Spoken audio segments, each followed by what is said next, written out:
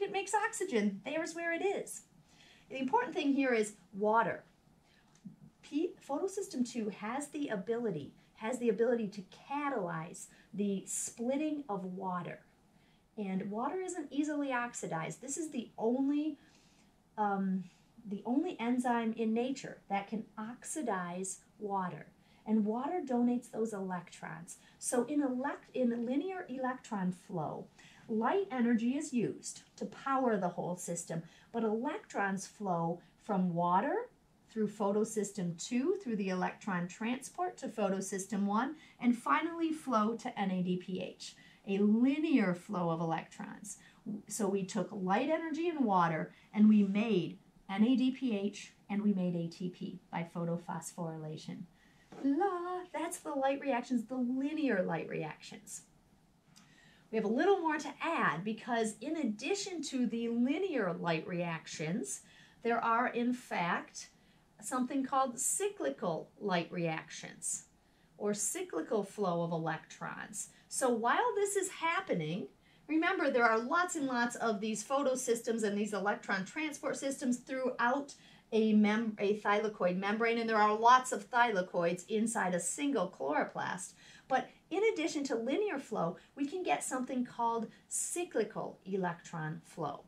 And in cyclical electron flow, it uses only kind of a piece of this whole system. And so I'm going to redraw, I'm going to draw in cyclical electron flow on top of my linear electron flow. It's going to be a little messy, but in cyclical electron flow, there's a couple of things we want to note. Cyclical electron flow uses only photosystem 1. It generates ATP, but it doesn't make any NADPH. And the electrons flow in a circle. They don't flow in a line. So how does it work? Well, the electrons that get excited at photosystem 1 are donated, are first excited, donated to this primary electron acceptor, and then they're donated to ferredoxin. Ferredoxin can be in a variety of places. Sometimes ferredoxin is closer to this cytochrome complex, so, so in linear, I'm sorry, in cyclical electron flow, the electrons flow to ferredoxin. They're donated by a redox reaction. And then in cyclical flow, the electrons are not donated to NADP+, plus, but they're donated to the cytochrome complex, where they flow down to plastocyanin and back to photosystem 1 in a circle. The electrons are excited by light energy. They flow to ferredoxin through the electron transport chain and back down to photosystem 1. They're flowing in a circle. This seems kind of dumb. What does it do? Well, as these electrons are flowing in a circle, they're getting excited, they're falling back down. They're getting excited, they're falling back down. But guess what? As they fall back down, that releases some energy that allows protons to be pumped across the membrane creating a bigger proton gradient or proton motive force that's used to drive the synthesis of more ATP. So in cyclical electron flow, there's a cyclical cycle of electrons. They're getting excited, they're falling back down. They're getting excited, they're falling back down. But as they fall or flow through the electron transport chain, they allow or that uh, energy that's released is used to pump protons across the thylakoid membrane, creating a gradient that's used to make ATP. So it's just another way of making more ATP. At this point, the light reactions now are um, grabbing light energy and with the help of water, who donates electrons, they're making NADPH and ATP.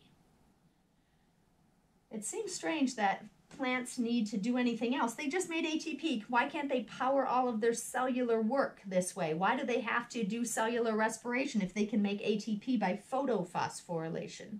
This is a really good question, but we got to think about when this can happen.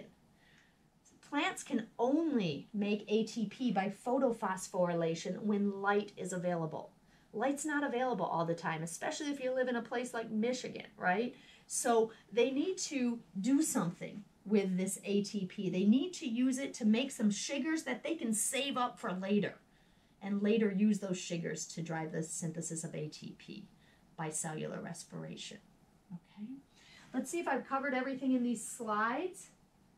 Um, so the summary of the light reactions, let's quick go over what the our slide 20, I believe it's 27 says. So light energy is converted into chemical energy, NADPH and ATP, right?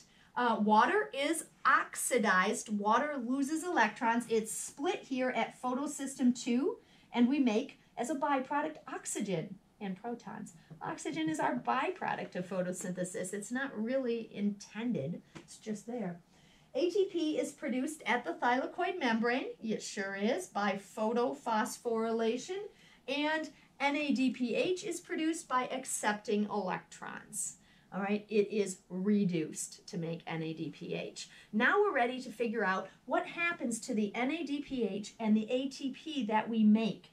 Um, they move on and they're used in the Calvin cycle. The Calvin cycle is going to take place out here in the stroma. Okay, and it's great. We've made some NADPH and ATP. ATP is going to power the Calvin cycle.